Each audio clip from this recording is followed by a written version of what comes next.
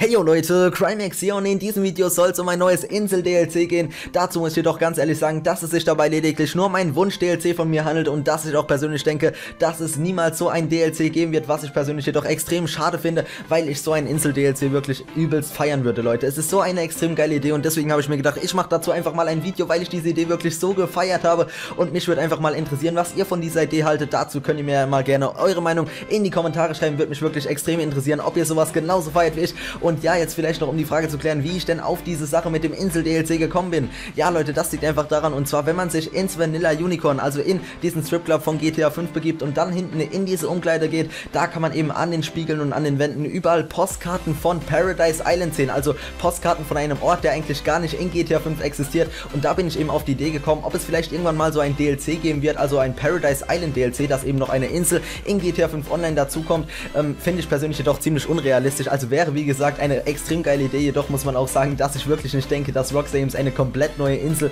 in das Spiel hinzufügt.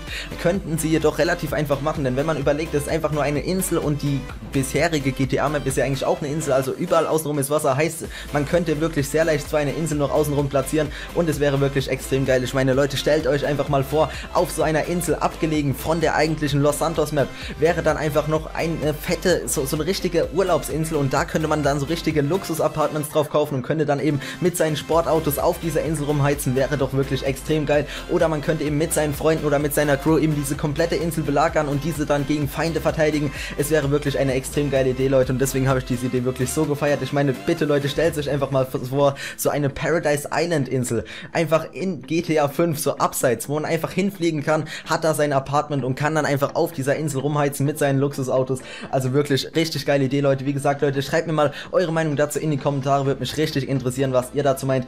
Ähm, ja, wie gesagt, ist leider nur eine Idee von mir und ich denke wirklich nicht, dass es um die, äh, in die Tat umgesetzt wird. Jedoch könnte man sich auch fragen, warum Rockstar Games denn überhaupt solche Postkarten, solche Easter Eggs in das Spiel einbaut, wenn es niemals so eine, äh, so eine Insel geben wird. Also ganz ehrlich, Leute, ich, äh, ich weiß es nicht. Es könnte natürlich sein, dass sowas tatsächlich irgendwann mal kommt, denn ich meine, warum sollte Rockstar Games Postkarten von einem Ort, der eigentlich gar nicht existiert, in das Spiel hinzufügen? Jedoch, wie gesagt, Leute, ich kann es mir einfach nicht vorstellen, es ist zu unrealistisch, aber es wäre wirklich einfach extrem geil. Ja, wie gesagt, Leute, das war es auch schon von diesem Video. Es soll nur so ein kleines Wunschvideo von mir. Ich hatte wirklich extrem Bock, einfach dieses Video zu machen.